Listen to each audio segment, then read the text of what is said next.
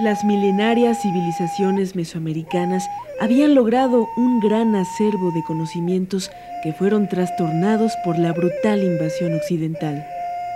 A pesar de dicha destrucción, muchos elementos de las culturas mesoamericanas persistieron gracias a los pueblos que supieron guardar la tradición de sus ancestros, particularmente en la agricultura y en el manejo de los recursos naturales.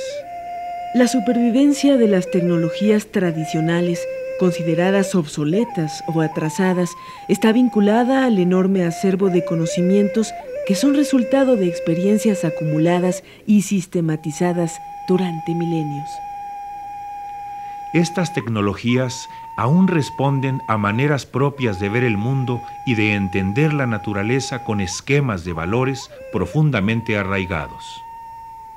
A este antiguo conocimiento se añaden los nuevos elementos de la cultura occidental que en ocasiones han resultado benéficos o significativos para el mantenimiento de la población.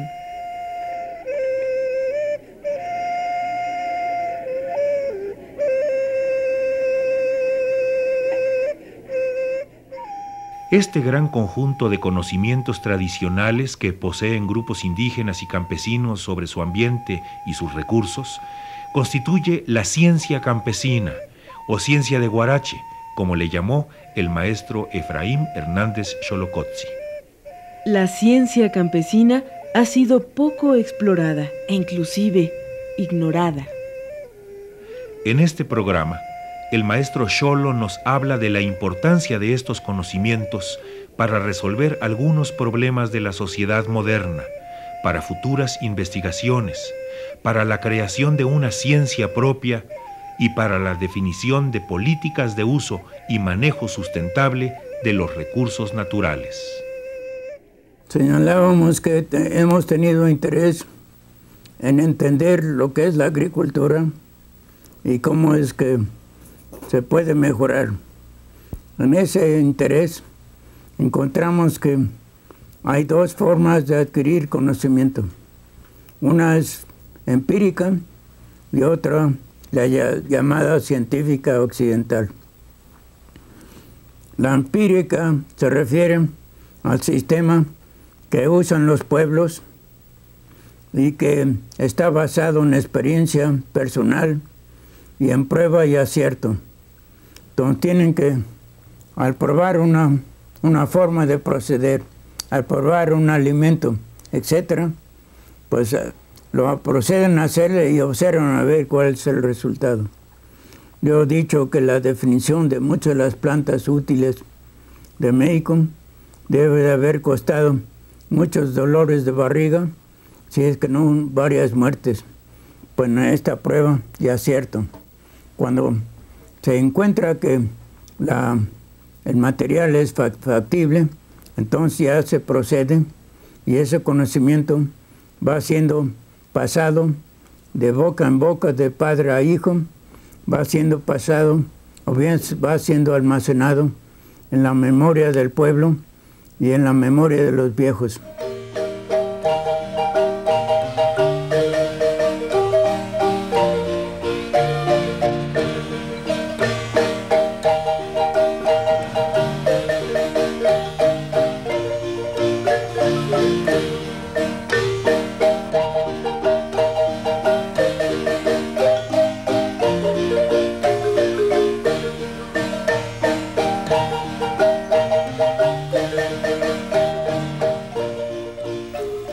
Aspectos más interesantes que me ha tocado ver es como un tzotzil llevaba a su hijo al campo de cultivo y regresando platicaba con su hijo y venía bailando de regreso a su casa. Había logrado un día de trabajo fructífero. Esta forma de prueba y error entonces nos ha dado un acervo de conocimiento muy amplio, parte del cual es lo que estamos tratando de registrar en la actualidad. Tiene muchas enseñanzas que aportar a nuestros problemas. Dentro de eso encontramos que no es una serie de conocimientos exclusivamente para beneficio propio, es para beneficio de la comunidad. Y no solamente es cuestión de producir, sino también es cuestión de conservar. En el análisis que estamos haciendo ahorita de los estudios de Yucatán, encontramos que tienen toda una serie de actividades conservadoras del recurso. El recurso principal es la vegetación y esta la conservan, eh, como digo, en diversas formas, muchas de las cuales desde luego ya están siendo abandonadas por este embate de un aspecto más capitalista en la actividad.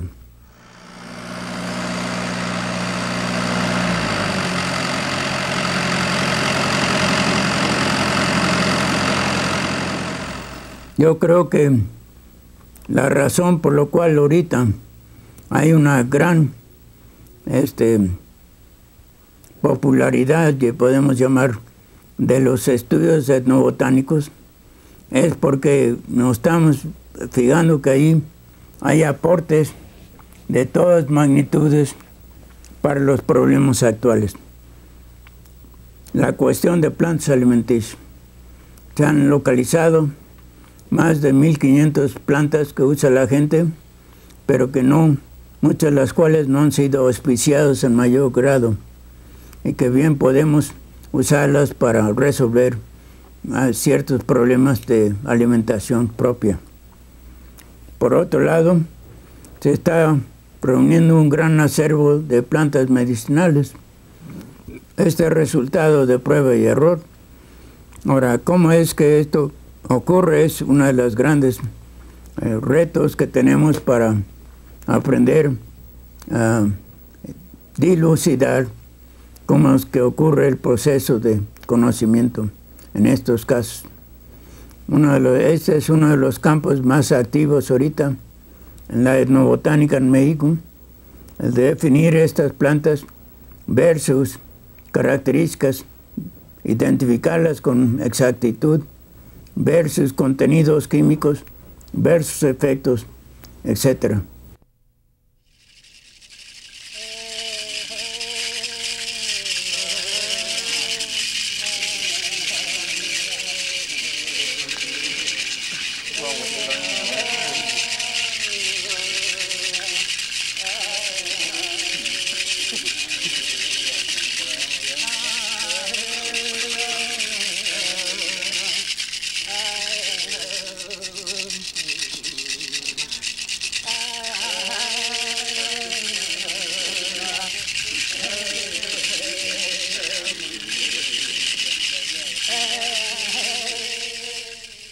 Por otro lado, tenemos indicios de que dentro de este conocimiento general hay materiales que no hemos utilizado, pero que son pertinentes a muchos de los problemas modernos de la civilización.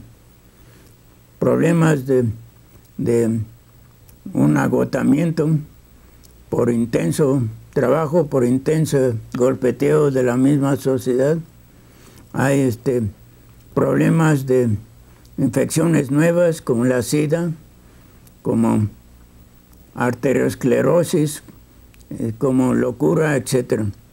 Y encontramos que en el conocimiento tradicional hay elementos que han servido, no, no que se considera que pueden servir, que ya están sirviendo para aliviar estos malestares. Cabe señalar que esos malestares son uno de los productos que pocas veces se menciona de la civilización moderna. Eso no lo encuentra uno en la forma de vivir de los agricultores tradicionales. Muchas de esas enfermedades no, no aparecen allí. A pesar de eso, vuelvo a repetir, encontramos que sí tienen conocimiento de muchos materiales que son pertinentes a estas enfermedades.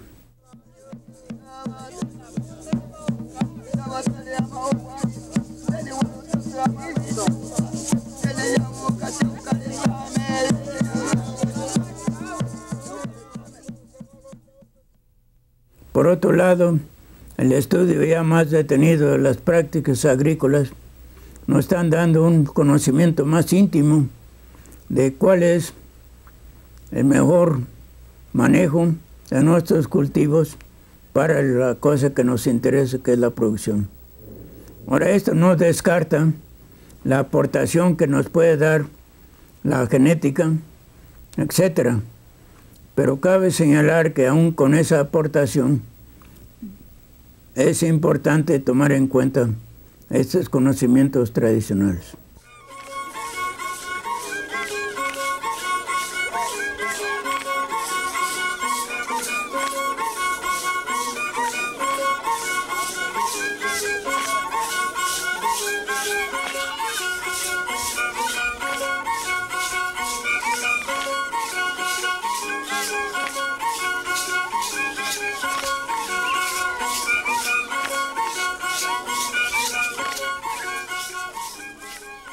El maestro Sholo afirmaba, La agricultura tradicional es una fuente apenas abrevada de conocimientos que podrían, en mucha mayor medida, fundamentar y dar más sentido a la enseñanza e investigación agrícola en nuestro país. La importancia del conocimiento tradicional es fundamental en la evolución de la agricultura, como también han sido significativas las aportaciones etnobotánicas de Mesoamérica al mundo. Bueno, generalmente eh, explicamos la importancia de las aportaciones de Mesoamérica, a la cual pertenece México, por el, el aprovechamiento de cultivos en otros lugares, ¿no? Entonces está claro que maíz ha recorrido todo el mundo, ha transformado la economía agrícola de muchos países. Esa es la obra de Barman que mencionaba. Pero hay, junto con eso, hay del orden de 50 a cerca de 100 plantas más que han, han migrado o se han llevado a otras plantas, a otros países, donde han ocupado lugares bastante importantes. Ahorita yo diría que es en los Estados Unidos, en Europa, donde el jitomate reviste mayor importancia que en México. Ya están fijándose también en el tomate, mal llamado tomate de cáscara, para utilizarlo. Me sorprendió en África ver que ya está siendo utilizado con abundancia el chile habanero pero la cosa curiosa es que lo están usando, pero no saben todavía cómo consumir, cómo utilizar chile. Esto ocurre igual en la India, donde el chile ha ocupado un lugar bastante importante en su economía y su utilización. Otro cultivo es igualmente importante ha sido el tabaco, que ahora lo estamos combatiendo creo que con buena razón, pero todavía sigue siendo económicamente muy importante. El cacao, que aparentemente fue domesticado aquí, no se origina aquí, pero aquí fue domesticado, está siendo usado cada vez en mayor envergadura en otros países. De tal forma que para explicar la aportación que ha hecho Mesoamérica al mundo, tendríamos que entrar a un análisis entonces de qué plantas hemos aportado y qué conocimiento hemos aportado.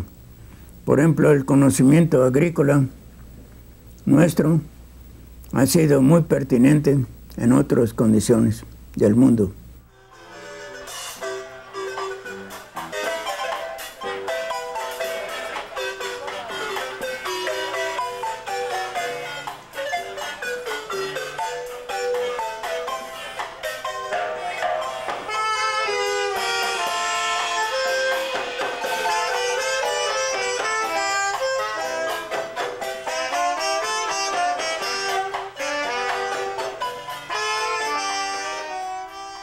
La presente entrevista fue realizada en octubre de 1990.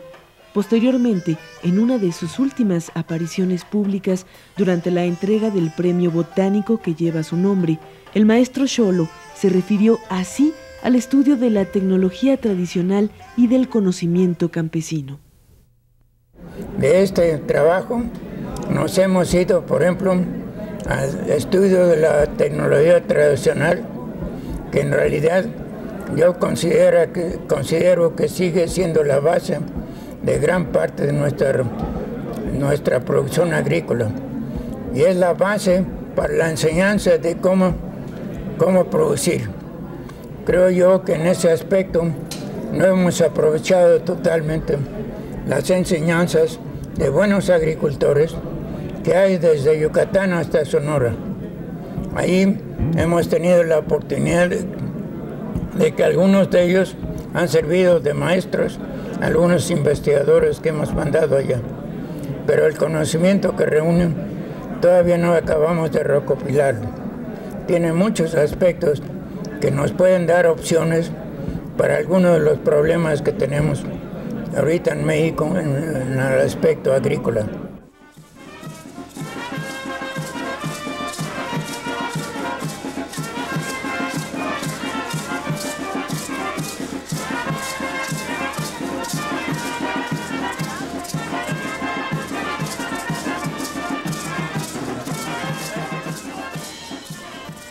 Palabras siguen vigentes y seguirán resonando mientras no se le dé su lugar a la ciencia de Huarache. Fueron pronunciadas en 1990 antes de la firma del TLC, antes de la guerra en Chiapas y de los errores de diciembre. El ingeniero Hernández Xolocotzi nos dejó cinco preguntas.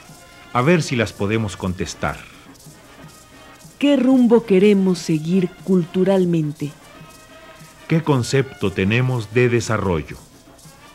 ¿Qué relación existe entre crecimiento económico y cultural? ¿Qué precio queremos pagar por un crecimiento material exclusivo? ¿Qué posibilidades existen de aportaciones culturales de parte de México al planteamiento mundial?